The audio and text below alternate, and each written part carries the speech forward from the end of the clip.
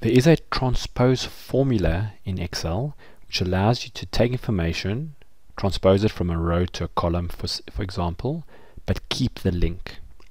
So just firstly the normal transpose, if I take this information and I copy it, if I wanted to now go downwards, I click here and I can say paste special, and there's something called transpose, and when I click OK, it brings it down here. The problem with this though, is if something changes here, so if that changes to this, you're going to have to go make the change there. So another way to do this is in Excel there's a function called transpose. So all you need to do is you highlight a matching area. So that was 5 across, so we've highlighted 5 down. And then in the function wizard, there's a function called transpose. And all transpose asks is where's this information?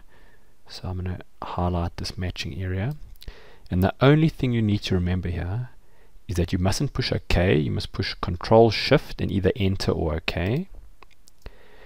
And what it does is it enters it, transposes it, but notice it's got a little squiggly lines here, and these are now linked, which means that if I come here and I change this name, you'll see that one changes.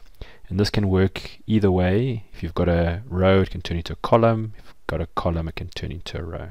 But the important part is to remember to go Control Shift and Enter when you enter it.